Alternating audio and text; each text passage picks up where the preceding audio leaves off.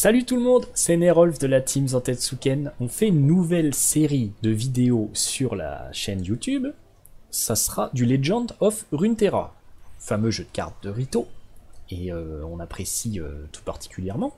On, a, commencé à jouer il y a quelques semaines. Et euh, moi je vous, je vous, propose un Brome Vlad. C'est le premier deck, c'est le deuxième deck que j'ai fait. J'ai fait un deck agressif pour monter le ladder, un deck pirate, avec GP MF. Et là, j'ai fait un Brome Vlad. Il est mid-range et il est très efficace actuellement. Donc vous pourrez passer gold sans aucune difficulté avec ce dernier. Je vous montre le contenu et après on part en game. Alors voilà, on joue Saigneuse Écarlate en T1, un des meilleurs. Euh, ensuite vous avez Champ des Trolls pour vous aider, Disciple Écarlate, Lotus Mortel pour faire du dégât de zone avec Avalanche, et éclat de glace. Énormément de dégâts de zone. Le but c'est de faire un point de dégâts, un point de dégâts, un point de dégâts sans arrêt. Pourquoi un point de dégâts? On aime faire un point de dégâts car on joue le domaine cicatriciel. À chaque fois que vous infligez un point de dégâts sur vos créatures, elles vont gagner robuste pour tout le reste de la game. Ce qui fait que les dégâts vont être annulés après le premier. Et on va pouvoir appliquer les effets de vos créatures. Alors on va voir que vos créatures ont des effets quand elles prennent un point de dégâts. Notamment le conservateur qui crée une carte dans votre main. Euh, on a Brome qui crée des poros. On a, euh, on a Vladimir qui, lui, à chaque fois que vous allez survivre à des dégâts, vu que vous êtes robuste, vous allez survivre, vous allez pouvoir évoluer Vladimir. Euh, Tarkaz inflige un point de dégâts à toutes les unités euh, au combat. Euh, voilà, vous avez Vrina qui gagne plus 3 d'attaque. Et le Tracker, qui quand lui arrive, est extraordinaire. Il afflige 4 fois 1 point de dégâts. Donc c'est pas 4, c'est 4 fois 1 point de dégâts. Donc c'est 1, puis 1, puis 1, puis 1. Donc il va activer 4 fois le domaine cicatriciel. Et ça, c'est extraordinaire et ça fait des effets absolument incroyables sur Brome, par exemple, puisque Brome évoluait. Euh, on peut regarder ça. Euh, ah mince, j'en ai enlevé un.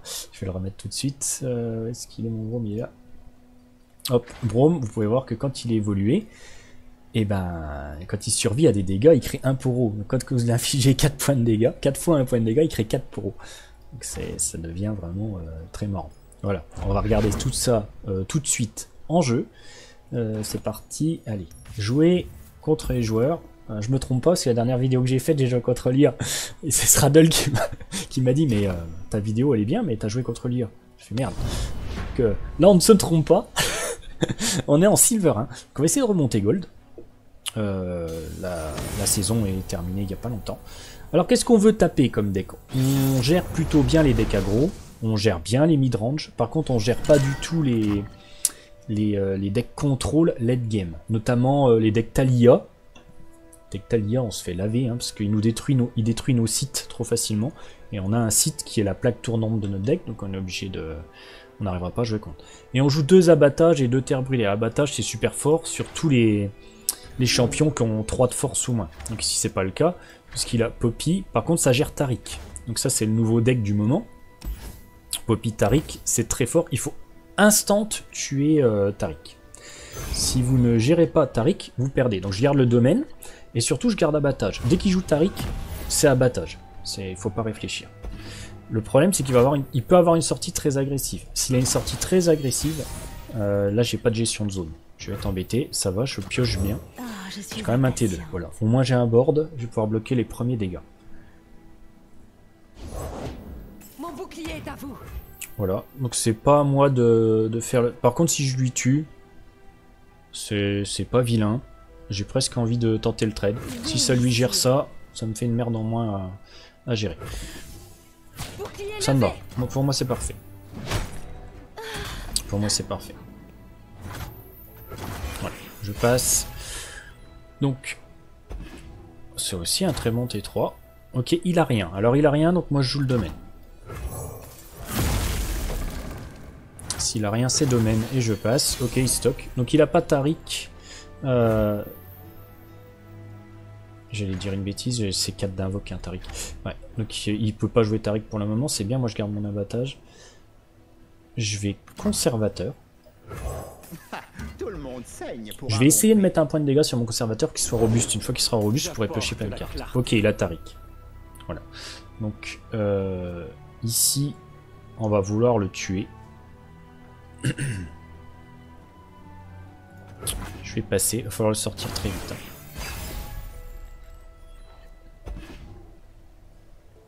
peut pas le laisser. Voilà. Là, il a cramé toute sa mana. Donc, abattage. Et on le sort. On peut vraiment pas le laisser... Euh, on peut pas laisser Tariq, en fait. C'est ingérable. Hein. Dès qu'il supporte, c'est affreux, quoi. Il a une réponse. Frappe les deux mutuellement. Ok. Alors je pourrais avoir une réponse moi aussi. C'est mettre un point de dégâts partout avec l'éclat. Ce qui ferait gagner Robuste ici. Et euh, il va me taper à 3. Ça va quand même me le tuer, mais je piocherai deux cartes. Alors que là, je ne vais rien piocher. Non, je vais piocher qu'une carte, pardon. Je perds un éclat pour piocher une carte. J'ai pas grand chose pour m'aider derrière. C'est pas un mauvais play. Si j'ai rien d'autre à faire, après euh, je suis embêté et je pourrais rien jouer. Je vais faire un tour à vide, j'aime pas ça. Je vais mettre un point de dégâts partout. On va piocher. On va voir ce que je crée. Je trouve que je vais créer une carte qui vaut 1 et j'aurais fait de la value. Voilà. Au moins Tariq, euh, Tariq est géré, c'est déjà ça. J'ai recréé une discipline écarlate parce que je veux. Voilà, j'ai pris 4 et 1 du l'éclat de glace. Il va falloir jouer contre ça. Donc j'ai un très bon T6 ici. J'ai Vrina, c'est vraiment fort. C'est très bien, par contre ça me permet pas de gérer son dragon là. Un peu, un peu pénible alors que le, troll lui le, le gère. partir sur le troll pour le moment. Tout petit.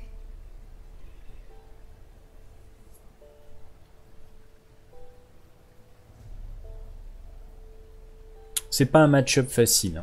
C'est un deck, euh, un deck vraiment fort du moment. Wow. Putain, les pioches de Tariq. là on est, là on est dans le mal. Hein. Je ne cache pas que ça va être très très compliqué. On va attaquer, il va pas bloquer. Hein. Là on va se mettre robuste. On va lui rentrer quand même des dégâts. Ça va être méga chaud. Hein. S'il se met à piocher deux fois Tariq, on va en prendre plein la gueule.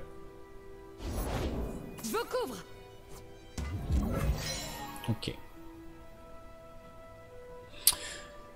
Je pourrais mettre un point de dégâts partout. Je peux avalanche. Ça me gère déjà ça. Ça descend un peu ses, ses euh, ça fait sauter la barrière.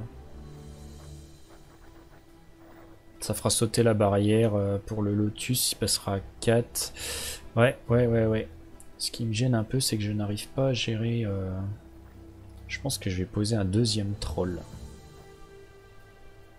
Ça me coûte 5, il me reste 4, je peux encore avalanche. Je pense qu'il faut jouer comme ça. Je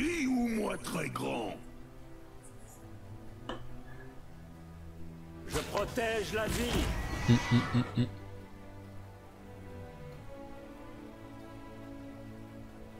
ouais, on a quand même un beau board. Bon, le problème, c'est Tariq, quoi. Hein. Il va filer robuste. Euh, les deux vont avoir robuste. jamais.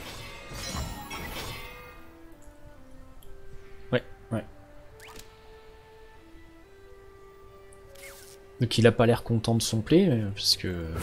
toi, hein Personne d'autre? Moi j'aimerais bien faire sauter la barrière que je puisse le taper, sinon je le gère pas. je vais... Euh, je vais lâcher un éclat. Je vais lâcher un éclat, euh, c'est un peu c'est un peu cher mais mais bon. Faut que je gère faut que je gère Tariq. Hein. La barrière euh, saute hein, avec le lotus mortel. Et je trade les deux. Il s'est rendu. Ok. Bon. Merci. Euh, je pense qu'il a... Je pense qu'il a très mal joué. Et tant mieux pour moi. Parce que... Pioche 2 Tariq, euh, ça, ça met mal. Enfin, vous pouvez voir quand même il y a moyen de gérer. Ils connaissent pas trop notre deck. Euh, Vlad Brom, on n'en croise pas tous les coins de rue. On peut faire pas mal de choses. Allez, on part vite sur une deuxième game. Histoire de vous montrer un peu la puissance du deck.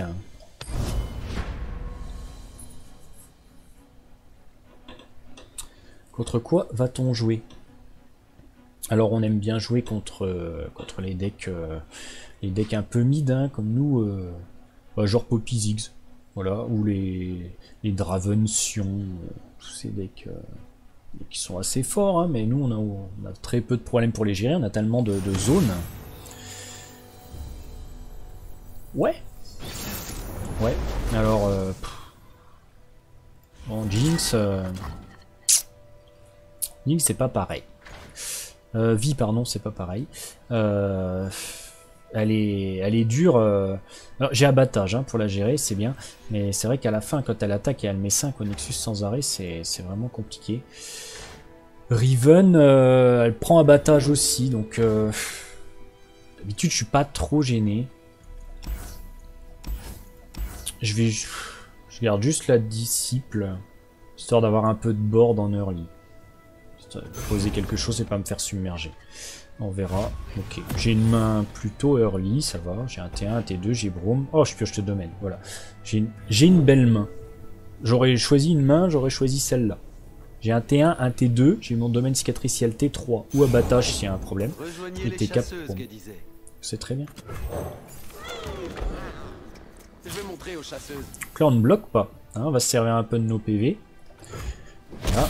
On passe à 18. Ça change pas notre vie. On s'en fout parce que quand on va jouer la disciple, elle va proc ici. Ça va faire un point de dégâts. Et ça va booster mon, mon rang. Et ça, ça fait de la value sur les cartes et c'est bien meilleur. Voilà. Je préfère euh, être à, à 18 avec ça comme board et lui à 19 que de perdre tout de suite mon Asenius. Alors, est-ce qu'on doit attaquer ou pas? Donc là, je peux attaquer, on est bien avec ça. Et ça, la 2-2, s'il la bloque là, on est bien. S'il trade celle-là pour celle-là... Euh, ça me va... Non, je vais garder la 2-2. Ouais, je vais garder la 2-2. Faire garder un bloqueur pour le tour d'après, hein, c'est jamais. Voilà. Ok, c'est bien. C'était le play. On est très bien. Ok, là qui va mettre un embrasement. Euh, je peux rien y faire. Alors si je joue rien d'agressif, on pose le domaine cicatriciel. Par contre, il sort extrêmement aggro. Euh, cool. On va peut-être lâcher un abattage ou euh, le brain avec un instant champ des trolls en bloquant quoi. On va voir ce qu'il fait. Il réfléchit. Axel. Il s'appelle Axel. Alors Axel, qu'est-ce qu'il dit?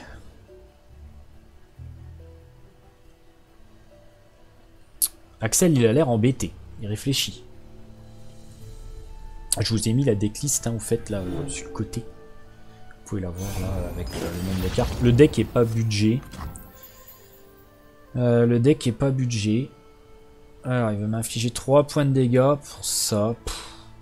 je peux mettre un champ des trolls pour le sauver. Sincèrement, euh, il me crame. Euh, je crame un, il crame un enthousiasme pour ça, moi. Euh, moi, c'est bon. Moi, c'est bon. Il a fini, il a plus de mana. Je pose mon domaine. C'est mon tour 3. Derrière, j'ai monté 4 avec Brome. Je suis très bien. ça, je m'en cogne. Hein. Ça va passer. Et voilà. Là, on est bon. Là, j'ai un très bon T4. Mon meilleur T4. On sort Bro. Et là, ça va le faire. Ah, bien. Mon T4 aussi de son côté. On attaque avec Brome. On va lock. Euh...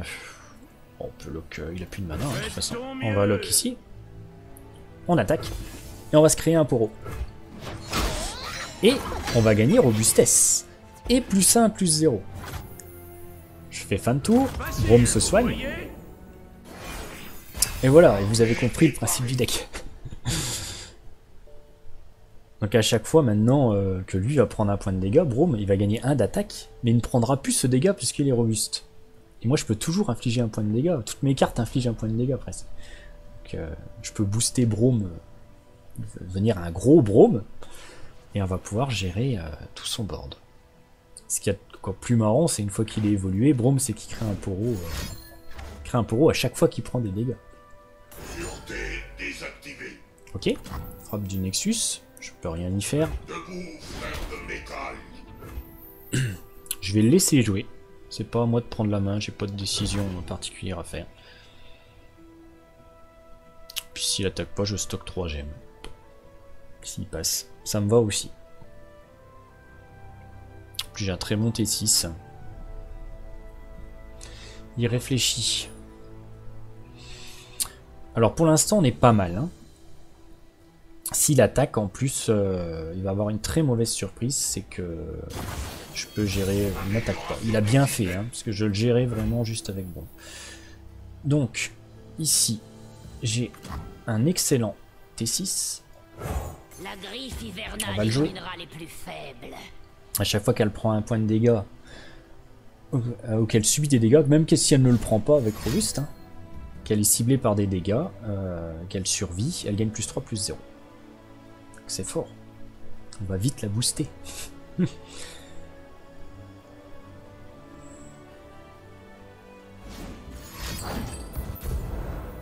Hmm, Ok, il cherche une réponse, il est embêté. Pioche. C'est pas... lui qui a la main, ça me va. Dans ce genre de deck, on aime que l'autre ait la main. Ok. Ok. C'est à nous de jouer. Donc j'ai un bon champ des trolls et j'ai aussi un excellent lotus mortel. Je vais attaquer. Je vais gérer ça. Et euh, je vois pas pourquoi je n'attaquerai pas avec tout. Alors je peux perdre le... En effet, je peux perdre le poro. S'il met la 3-3 devant. Pas de pitié pour les. Je peux attaquer avec tout. Puisque je peux avoir une réponse avec euh, champ des trolls euh, qui peut être très très intéressante. Réfléchis. Prends ton temps. Qui va choisir les bloqueurs, et après il va me redonner la main. Et là, c'est là qu'il faut claquer le... C'est là qu'il faut claquer un lotus ou, un champ des trolls s'il y a un problème. Oui, ça, je m'en fous, ça me va. Ça, c'est bon, il va résister à des dégâts. Voilà. Là, j'ai la main. Je veux tuer ça, absolument. Et je veux infliger des dégâts sur Vrina, parce qu'elle va gagner plus 3, plus 0. Donc le meilleur play ici, c'est un lotus. Là, vous voyez, je le descends à 11. Si je le tuce, il passe à 5. Et je clean tout son board. Donc là, il fait la gueule. Après, il peut avoir une réponse. hein. Nous, on va faire ça. Là, je sauve, je sauve absolument tout. Je vais passer robuste partout. Je, je pense qu'il est vraiment dans le mal. là. Ok. Réponse. Ouais. Bon, bah. Oui, hein. Il n'y a pas de problème. C'est le deuxième enthousiasme qui part pour ça. euh, complètement. Voilà. Très bien. Voilà, parce que l'enthousiasme, là, j'ai plus que 3, vu que je suis robuste, il aurait pas pu le lâcher dessus. hein. Ok, on va passer. Il a un 9. hein. On a vraiment le board. On gère. On gère, on gère. On a deux abattages. Donc Là, il peut me sortir euh, Vi ou, ou Riven, euh, c'est géré. J'ai 8 points dans ma mana pool. Pour moi, il est coincé. Je pense que le match est déjà plié. Voilà. Ok. Très bien, voilà la bête. Donc elle est toujours, euh, elle est toujours compliquée, hein, la, la vaille, mais euh, ça va me rentrer 5 au pire sur le Nexus. Alors c'est pas que quand, que quand elle est évoluée, donc pour l'instant ça va. Pour l'instant on va juste la gérer, de toute façon la Challenger elle va, elle va vouloir attaquer à quelque part. J'ai deux champs des trolls, hein, ça peut faire la blague. hein. Donc moi je vais passer. Je vais laisser jouer.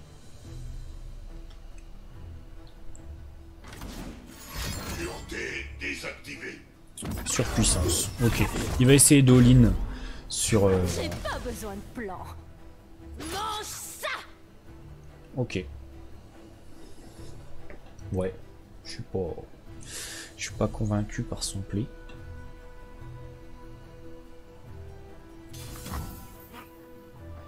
Donc moi je vais me mettre euh, plus 1 d'attaque. Bon, je crois que non, je peux le garder pour le tour d'après, ça va suffire comme ça. Je vais faire ça. Je vais faire ça. Et puis euh, voilà, il va me rentrer un petit peu de dégâts. Ah, je vais pas le tuer.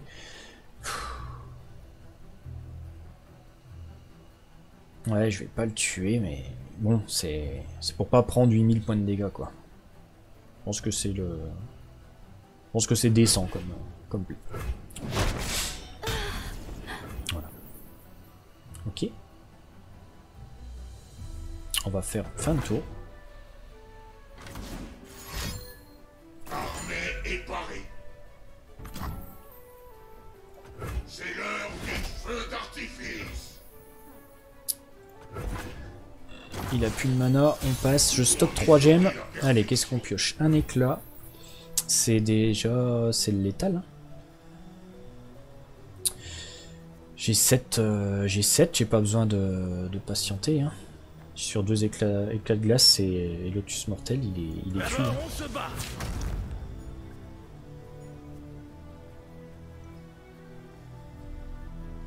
Ouais, je pense qu'il est cuit. Vous connaissez mon bouclier? Ouais, ouais, ouais.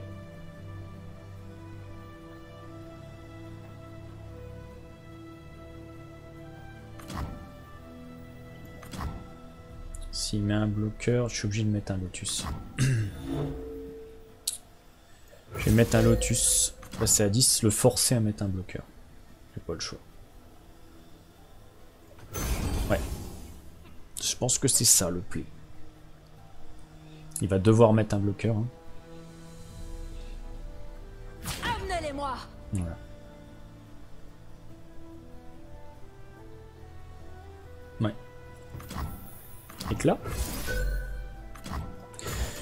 Les deux spells vont proc. Je vais gagner plus 6, plus 8 sur, euh, avec le domaine cicatriciel. J'ai gagné 8 d'attaque, je vais passer à 15. Il va prendre 13, moins 1 de la robustesse. Et c'est passé. Ok, c'est géré.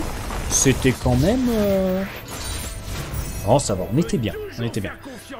On avait une très belle main. Voilà, je vous ai fait découvrir le deck, c'était Nerolf de la Team Zantetsuken. N'hésitez pas à poster vos commentaires, je vous répondrai avec plaisir. On refait d'autres games avec ce deck un petit peu plus tard. On fera aussi d'autres euh, decks, on proposera un petit, peu, un petit peu plus de contenu. Voilà, moi je vous dis à très bientôt. C'était Nerolf de la Team Zantetsuken. À ciao